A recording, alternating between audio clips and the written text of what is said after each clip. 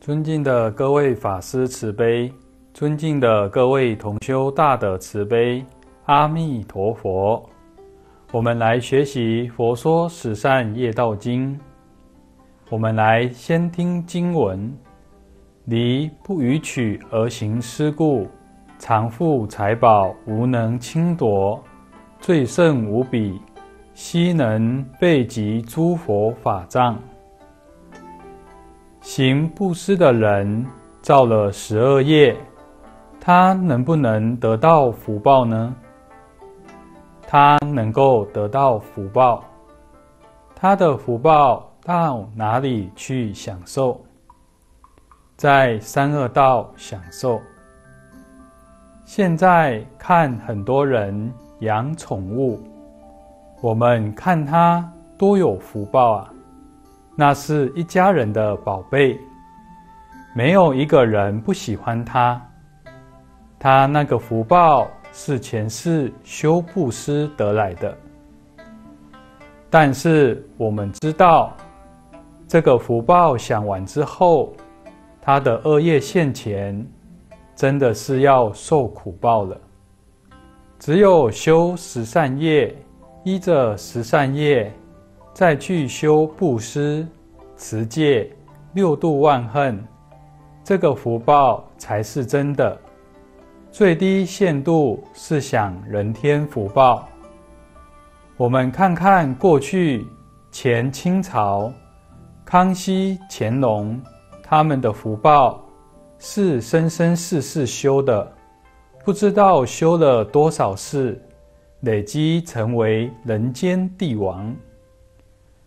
六道里面的果报不是就近的，聪明人一定要超越六道。即使发愿到六道救度苦难众生，一定要成愿再来。为什么呢？成愿再来，它是愿力生，不是业力生。成愿再来的人。一定不造业，成愿再来的人，感情会转变成智慧。他处事待人接物是真实的智慧，还有感情，这是业报生，随业流转。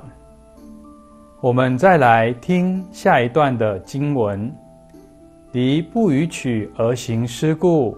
常富财宝无能侵夺，最胜无比，悉能备集诸佛法藏。我们修行在哪里修呢？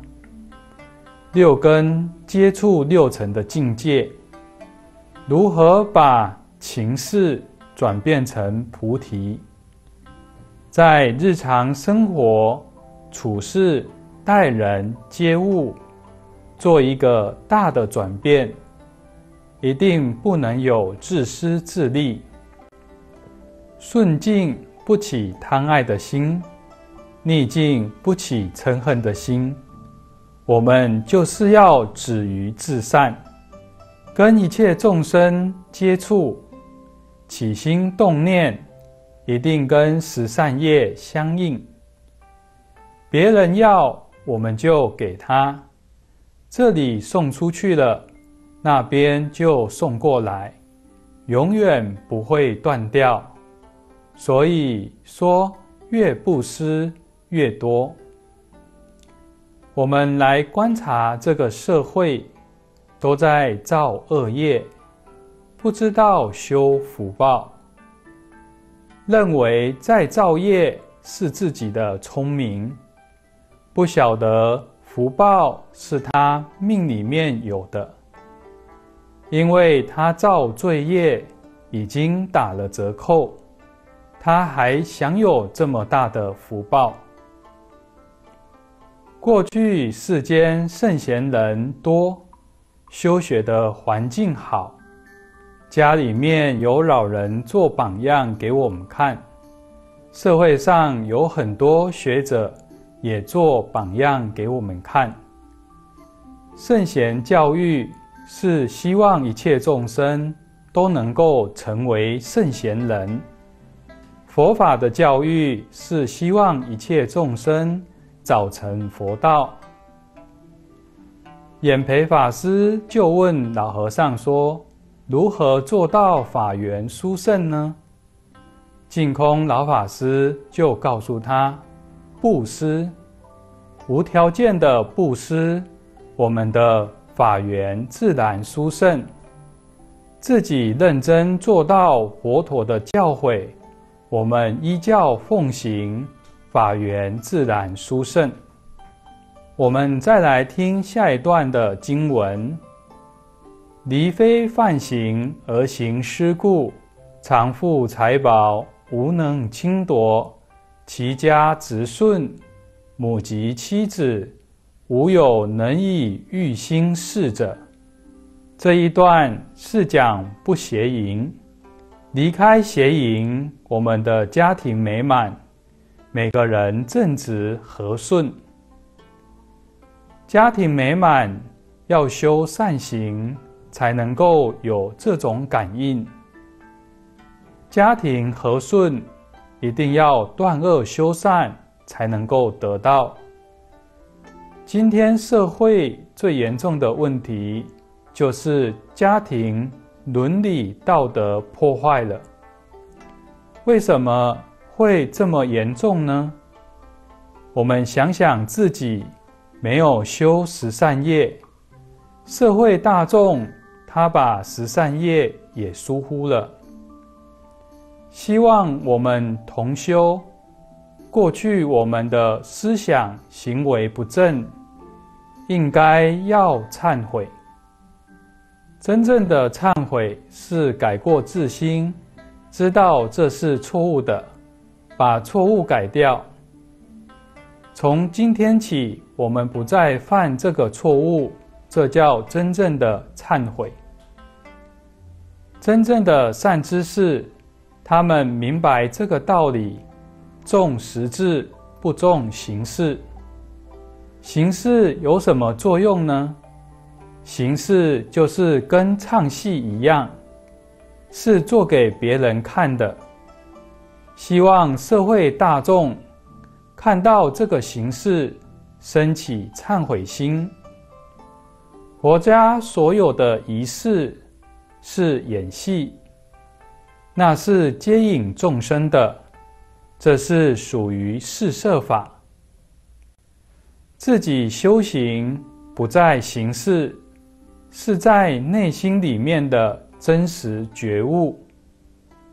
我们内心不能觉悟，形式做的再好看，没有用处，转不了业报。我们从内心里面发愿做一个好人。什么叫做好人呢？具足十善业，这个人是好人。如果我们念念搞十二业，对待一切众生有怨恨、伤害众生的念头，我们就是不善。业因果报是自己造作的，自己要承受。我们再来听下一段的经文：离虚狂语而行施故。常富财宝无能侵夺，离众毁谤，摄持正法，如其誓愿所作必果。妄语两舌是佛法里面的大戒。李炳南老师警惕我们：从古代到现在，很多修行人所修积的功德不能成就。为什么？都是从妄语两舌当中漏掉的，我们所修的功德不见了。两舌是挑拨是非，我们常用不真诚的心去对待别人，我们说的话没有人能相信，一定遇到别人的毁谤。在我们佛门当中，能得到大众的赞叹，没有毁谤。只有一位印光大师，其余的大德都不能够避免。这一生修得好，这是过去世所造的业报。有这种果报，我们要警惕自己。毁谤来的时候，过去的恶业就消掉了。别人毁谤我们，我们一定不可以毁谤别人。我们过去造的恶业就消掉了。别人侮辱我们，一定不能有报复的念头。今天世界为什么这样动乱？人心为什么不能安定？就是大家有对立的心，不能互相包容。我们对待一切众生没有高下，人的心能平等，看一切人事物都能用平等的心对待。平等心是什么呢？就是离开妄想、分别、执着。心就平等了，大家才能够和睦相处。我们再来听下一段的经文：离离间语而行施故，常富财宝无能侵夺，眷属和睦，统一自乐，恒无乖争。这是离开两舌所得到殊胜的果报。事出世间法的基础在家庭，家庭不能和睦，出世间法的道业就不能够成就。家庭为什么不和？因为两舌造成的。挑拨离间，在出世法里面是破坏道场的罪业。一定堕阿鼻地狱，没办法救，这就是破和合身，破坏一个僧团，这个罪比盗生切物的罪不知道要重多少倍。如果我们已经做了，能不能补救呢？佛陀不能救我们。可是我们可以救自己，自己要真正忏悔，改过自新。天亲菩萨年轻的时候无知，年轻学小乘，在小乘里面有成就，为小乘做了五百论，毁谤大乘法。这个人有智慧。以后接受哥哥无着菩萨的教导，自己后悔过去毁谤大臣，在佛面前忏悔，要割掉自己的舌头。无着菩萨就制止他说：“你何必割掉自己的舌头呢？过去你用自己的舌头毁谤大臣。”你今天真心忏悔了，为什么不用你自己的舌头来赞叹大乘法呢？天亲菩萨的视线教我们如何回头，怎么做？从前做错了，现在要赞叹大乘法，拥护大乘法。如果我们做了破坏道场的事情，破坏僧团的事情，现在我们帮助僧团团结，帮助佛法弘扬，这叫真正的忏悔。从前的罪业才能够真正忏除。佛陀在经典上说：“八路忏悔，就是向大众讲，我们过去种种的言语行为做错了，破坏别人兄弟之间、朋友眷属之间的关系不和，这是两舌挑拨。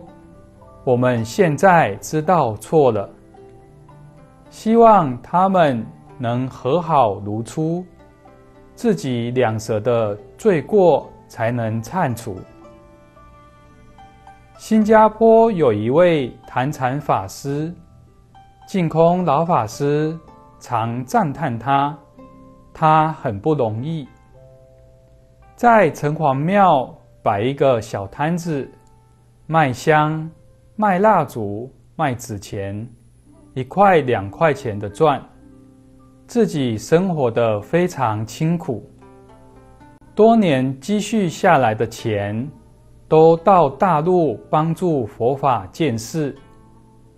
捐出去的钱都是美金一百万、一百万的捐助。他将来的福报一定不可思议。他把捐出去之后的钱，告诉别人。因果自己负责，我不闻不问，这是真实的功德。善心、善念、善行，一定感得善果。我们的发心决定有我们的福报。真正做到三轮体空，这个善心比福德还要殊胜。净空老法师不求长寿，只求正法常住，世界和平，社会安定，人们能够和睦相处。老和尚有一点能力，一定尽心尽力帮助大家。家和万事兴，一家人真正团结在一起，哪有不兴旺的道理？道场里面。在家出家大众和睦，道场一定会兴旺。我们再来听经文：离出恶语而行施故，常富财宝无能侵夺，一切众会欢喜归依，沿皆信受，无为惧者。这是不二口。所得到殊胜的果报，我们会得到大众的欢迎。口业里面说话粗鲁，让大众听起来不舒服，就感得别人不拥护我们。十善业道是我们修行的基础，修行最重要的在起步。起步做得不好，前途就没有了。《十善业道》这部经典，通大乘、小乘，通一切佛法。福报智慧不圆满，我们要看细行，细行就是十善业。我们再来听下一段的经文：离无益语而行施故。常富财宝，无能侵夺；言不虚设，人皆尽受；能善方便，断诸疑惑。这是不祈语的殊胜果报。祈语是很会说话，花言巧语，喜欢骗别人，诱导别人走向不善的道路。我们在电视上看到世界不同的族群的歌舞内容，如果与十二相应，这个国家一定会动乱不安。如果歌舞内容与十善相应，这个社会一定是安定兴旺的。中华民族古老的戏剧守住四个原则：中、孝、节、义，这是社会的教育。从前教育部官员向方东美教授请教。美国将来亡国第一个因素是什么呢？方东美先生回答说：“是电视。他的电视内容全部是十二。”我们来听净空老法师说故事，题目是天亲菩萨兄弟三个人，大哥是无着菩萨，老二是狮子觉。天亲菩萨是老三，他们三个人都是修弥勒净土。老二狮子觉先往生，兄弟三个人约好了，清净往生弥勒净土之后，升到那边要赶快回来给他们报信通知。老二狮子觉一往生之后。就没有消息，等了好多年也没有消息。无着菩萨往生了，三年才回来告诉天亲菩萨。天亲菩萨说：“你去了三年才回来，你是不是马上去就回来告诉我呢？”无着菩萨说：“是的。”原来多帅天。他跟我们这里有时差，多帅天一天是我们人间的四百年。他说：“我是见了弥勒菩萨，马上回来告诉你的。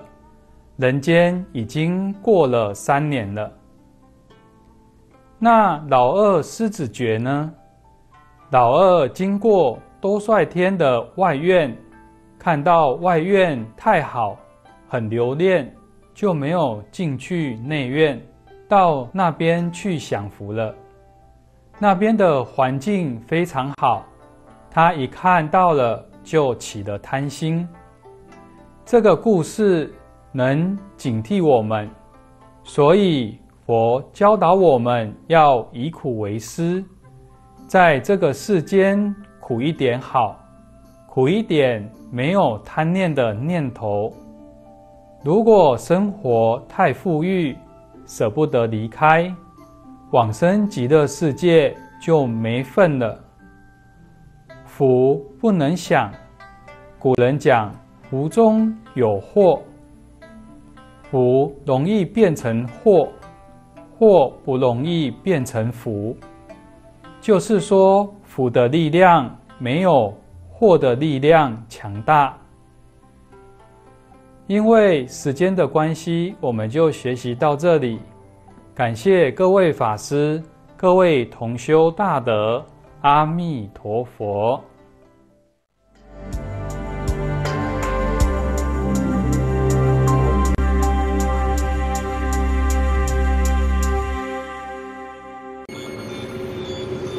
我在网络先进的时代，人人追求视觉上的冲击。不少人会分享与宠物互动的影片。这天，我也登上了网络。即将表演的是一场喂食秀，而我即将成为饲料，被一只巨蟒把玩。眼前的巨大利齿是我最后的记忆。透过大师傅的接引，我来到了天堂。这里有许许多多不同遭遇的同伴，因为这里的慈祥安和，大家都过得很开心。而且这里的一切似乎都是真的，是真正属于我们的天堂哦。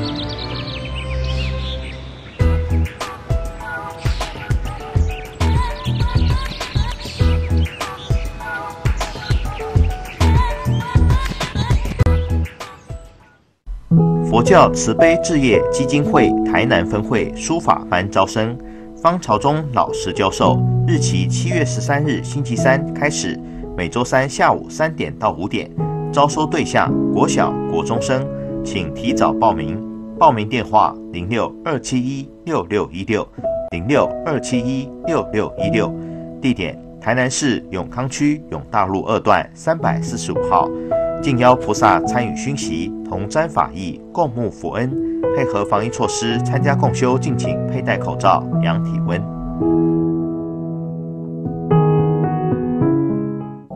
地藏菩萨殊胜功德日，善行与恶行成一亿倍。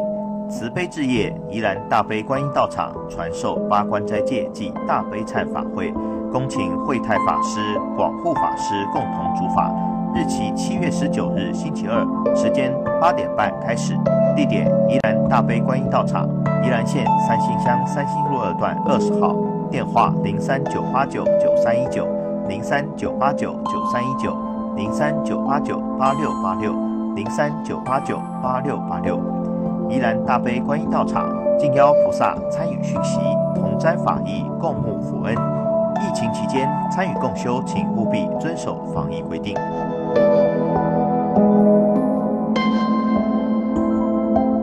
因为其实所有的环境的破坏都是因为人的问题啊，但是我们要解决所有的环境的破坏，必须再把人放回去这个体系里面，才有办法。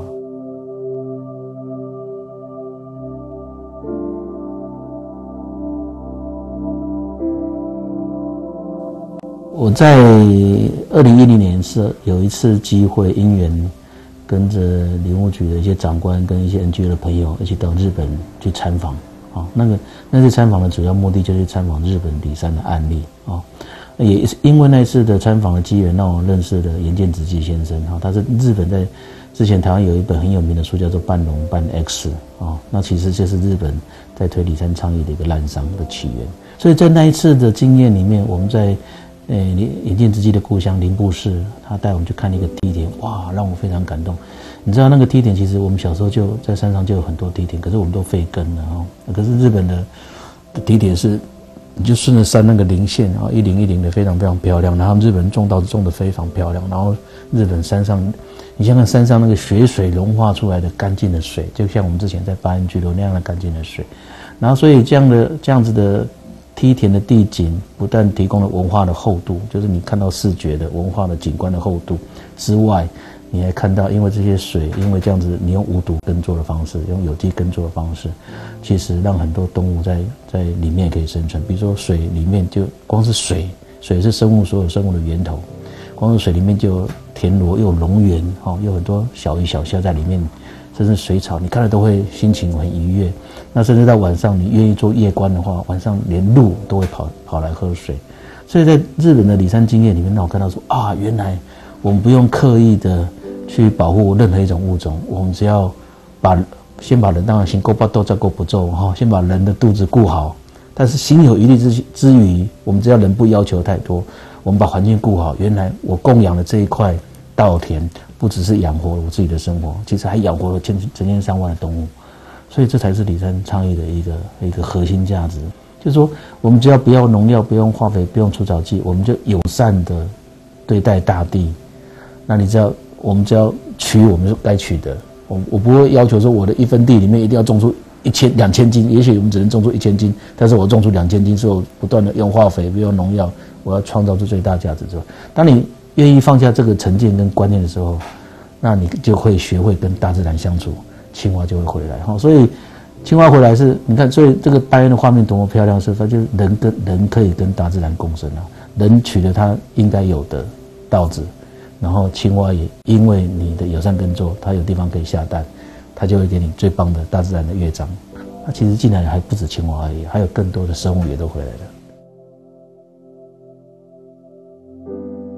每一个迎面而来的陌生人，他身上都有你值得学习的地方。那关键是我们愿意用更开放的心胸，去去讨论我们认知的一件事情。